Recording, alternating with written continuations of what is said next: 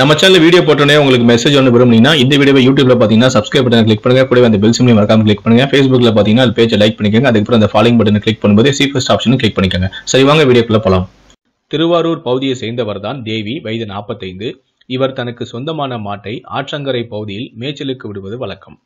நேற்று முன்தினம் மாலை மேய்ச்சலுக்கு சென்ற மாடு வீடு திரும்பாதால் தேவி தனியாக மாட்டை தேடி ஆற்றங்கரை பகுதிக்கு சென்றுள்ளார்.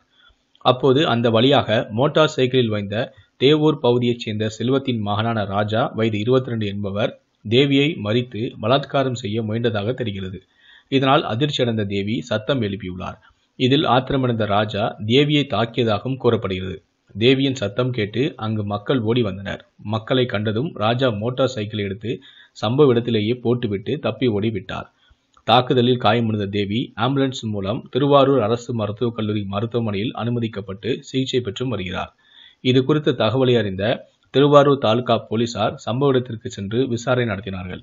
அப்போது ராஜா விட்டு சென்ற மோட்டார் சைக்கிளை பறிமுதல் செய்து மோட்டார் சைக்கிள் எண் மூலம் தேடுதல் வேட்டையிலும் ஈடுபட்டனர். இந்நிலையில்தான் நேற்று காலை நாகை மாவட்டம் வேதாரண்யத்தில் உறவினர் வீட்டில் பதுங்கியிருந்த ராஜாவை போலீசார் கைது செய்து திருவாரூர் கோர்ட்டில் ஆஜர்படுத்தினர். ராஜாவை பதினைந்து நாள் காவலில் வைக்க நீதிபதியும் உத்தரவிட்டுள்ளார்.